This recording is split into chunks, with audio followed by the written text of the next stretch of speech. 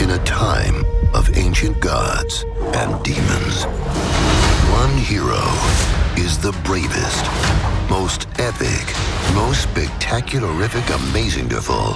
Wait a minute. Are you sure this is a word? It's a word. Most spectacularific. You know what?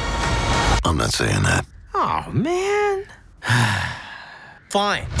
I'll do it myself. Name's Monkey King. This here is Stick, my trusty companion. This old geezer once told me, You don't belong here, outsider! and he was right. I don't belong here. I belong with the immortal one. They'd never accept you. I'll become legendary, and they'll have to accept me. You'd have to defeat a hundred demons to even get their attention. 100 demons coming up.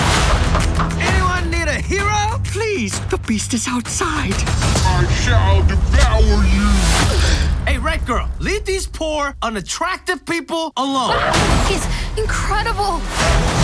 He saved our town. Sort of. Woo! Monkey King! I offer my skills as your humble assistant. Hard pass. Please, I just want to do big things someday, like you. Fine. I said fine. Try to keep up.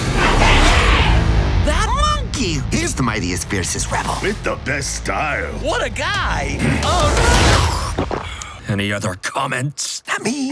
Nope. I am the mighty Dragon King. Suffer my wrath. Supposed to be lightning first. And there it is.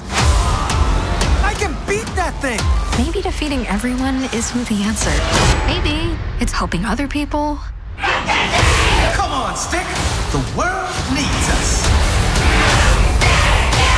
Monkey King reigns supreme. You are crazy! And handsome. If you're going to be critical, be fair. Monkey King. Man, that's really catchy.